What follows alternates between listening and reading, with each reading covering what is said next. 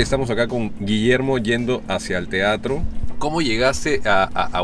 Yo, yo estaba viendo tele y en eso veo a Guille con una gorra y digo, ¿le hemos vendido una gorra?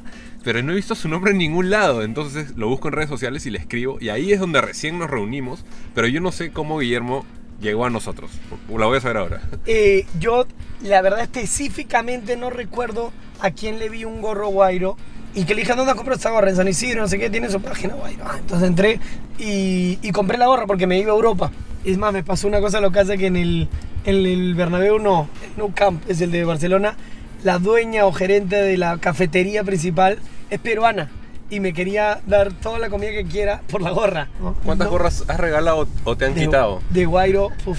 O sea, algún amigo que vino, familiar, eh, que está de fuera, es como un buen símbolo la gorrita Guairo. ¿no? Tú chequeaste la gorra en tu pata. Lo- Pero ¿qué, qué, qué fue lo que te llamó que te- A, a querer una gorra igual? amo el escudo peruano. O sea, amo el Perú y amo Machu Picchu, bla, bla, bla, bla. Pero el escudo peruano me gusta mucho, al punto que lo tengo tatuado.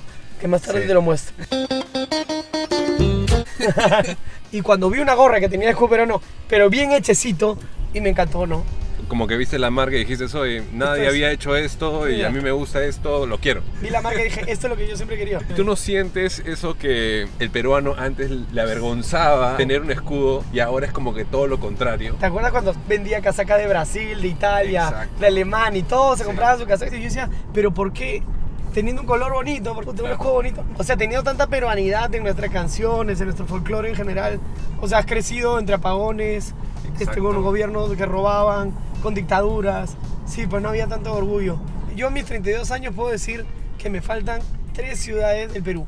Apurímac, Huancavelica, Madre de Dios, ¿Cuál de las, de las regiones te gusta más? la selva. Ambos la selva, ¿Por siempre, qué? siempre lo digo. La energía que hay en la selva, desde la gente hablando así, Sí. alegre, el sol, la comida, la música, la selva.